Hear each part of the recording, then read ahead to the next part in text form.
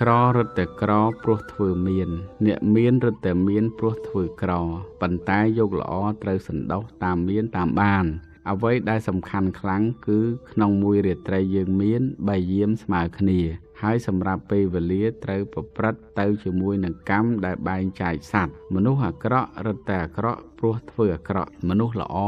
រឹតតែល្អព្រោះធ្វើល្អ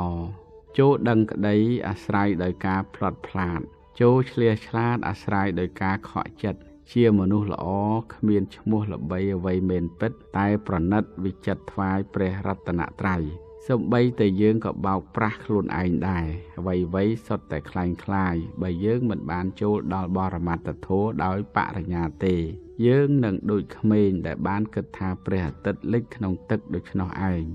ជីវិតយើងត្រូវភ្លើងឆេះមិនសេះសល់គួរតម្កល់កុសលធម៌គ្រប់វេលា កុំគិតខ្វល់រវល់តែគោរមងាពេលវេលាទំពាស៊ីសពសត្តា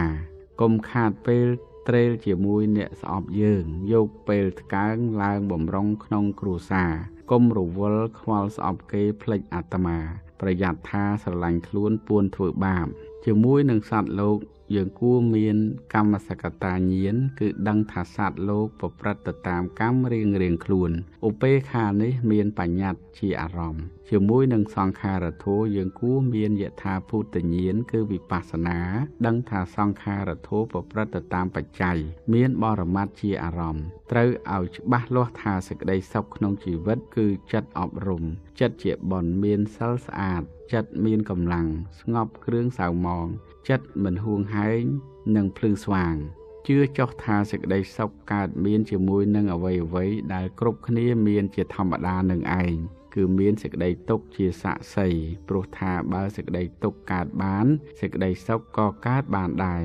គ្រាន់តែដូរការវង្វេងមកជាការមានសតិវិញប៉ុណ្ណោះឃើញទេមនុស្សយើងកើតទុកតែជាមួយនឹងរឿងធម្មតាធម្មតានឹងឯងចង់យ៉ាងនេះចង់យ៉ាងនោះ គេនិន្ទាអបសុកណាស់ ដូច្នេះយើងមានចាំបាច់ទៅរកសុកនៅឯស្រុកយៈស្រុកទេវតាណាគុំតែការទុកទៅគឺសុកហើយសតិជាតួធัวបង្ហាញប្រាប់នៅកំណប់នៃសេចក្តីសុខដ៏ធំទូលាយគ្រប់គ្នាចាំបាច់ត្រូវតែខ្លាំងក្នុងការប្រើបរិញ្ញាបញ្ញាពិចារណា ការប្រព្រឹត្តរបស់ខ្លួនឲ្យបានរៀបរយ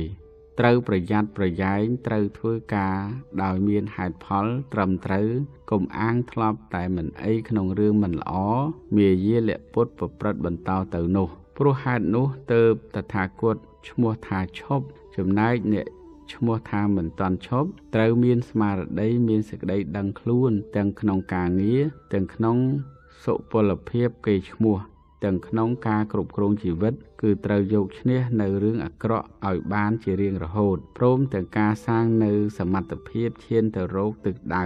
តាមផ្លូវព្រះធម៌ឈ្នះទុកទាំងពួងដោយវិរិយៈកុំប្រើប្រាស់ជីវិតឲ្យវង្វេងទៅតាមចំណង់ដែលចង់នេះចង់នោះត្រូវធ្វើការឲ្យពេញសមត្ថភាពនិងពេញចិត្តក្នុងការងារនោះ នេះគឺជាសេចក្តីសម្រេចនៅក្នុងជីវិត ត្រូវចាំថាមនុស្សល្អគឺសំខាន់ជាងអ្វីៗទាំងអស់បុគ្គលណារក្សាចិត្តបានល្អចិត្តល្អនឹងរក្សានៅបុគ្គលនោះវិញ